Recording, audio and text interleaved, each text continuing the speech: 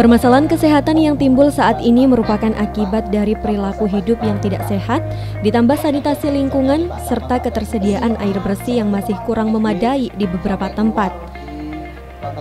Hal tersebut sebenarnya dapat dicegah bila fokus upaya kesehatan diutamakan pada upaya preventif dan promotif dalam menumbuh kembangkan kemandirian keluarga dan masyarakat untuk berperilaku hidup bersih dan sehat.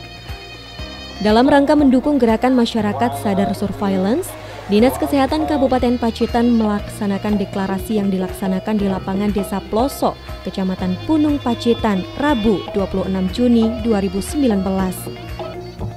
Kegiatan dihadiri Bupati Pacitan Indar Tato, asisten pemerintahan, dan unsur Forkopimca. Launching Gemar Sadur ini merupakan salah satu upaya dari Dinas Kesehatan Pacitan untuk menurunkan beban penyakit menular dan penyakit tidak menular. Perbaikan lingkungan dan perubahan perilaku ke arah yang lebih sehat perlu dilakukan. Tidak hanya unsur pemerintah kabupaten, kecamatan, maupun desa, melainkan warga masyarakat sekitar. Bupati Pacitan Indar Tato menjelaskan, dengan adanya gerakan masyarakat sadar surveillance ini akan mampu meningkatkan derajat kesehatan di Pacitan, khususnya di pedesaan akan lebih baik. Terlebih jika kesadaran masyarakat akan kebersihan lingkungan tinggi maka sedikit kemungkinan masyarakat terserang penyakit. Jadi yang jelas bahwa kita sama-sama tahu, ini kalau gerakan ini dilaksanakan betul dan dilaksanakan betul-betul artinya dengan sungguh-sungguh dan disadari oleh seluruh masyarakat, saya kira ini akan membuat derajat kesehatan kita akan lebih tinggi, ya lebih baik. Mengapa demikian? Karena sedia istilahnya ini kan sedia payung sebelum hujan sehingga apa-apa yang kita kerjakan ini adalah untuk mencegah supaya penyakit tidak datang di desa-desa yang mengadakan gerakan sadar surveillance. Yeah. Sementara itu, Kepala Puskesmas Kecamatan Gunung mengaku jika gerakan tersebut merupakan hasil dari musyawarah desa.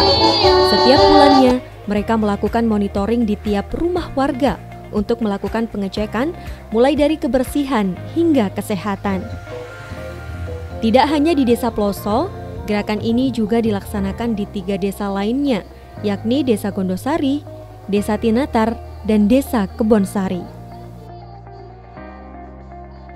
Satunya adalah adanya genteng kaca, kemudian adanya batuk-batuk yang lebih dari dua minggu, apakah dalam keluarga itu ada yang punya demam berdarah, uh, diabetes mellitus atau kencing manis, apakah ada yang menderita penyakit kronik misalnya hipertensi, kemudian apa itu adanya jentik nyamuk, sampai pengelolaan sampahnya seperti apa, sumber airnya seperti apa, dan seterusnya. Kurang lebih seperti itu. Ketika dari teman-teman Spider Trengginas ini sudah beraksi, mereka masyarakat kami sangat e, merasakan manfaatnya.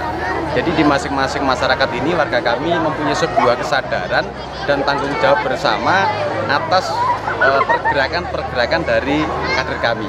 Sehingga alhamdulillah dengan adanya kader kami yang setiap bulan ini beraksi di masing-masing rumah, eh, persoalan-persoalan yang telah disampaikan di atas tadi termasuk penyakit menular maupun lepto maupun yang lainnya DB ini sudah menurun.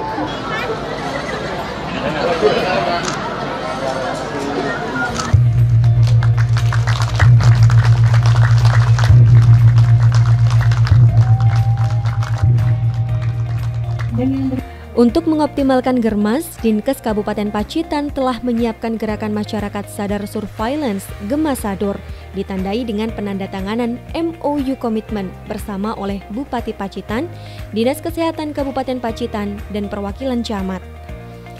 Semoga dengan launching ini bisa meningkatkan masyarakat agar selalu menjaga kebersihan lingkungan. Dengan demikian akan berdampak pada kesehatan bagi penduduknya. Doni Tatang melaporkan.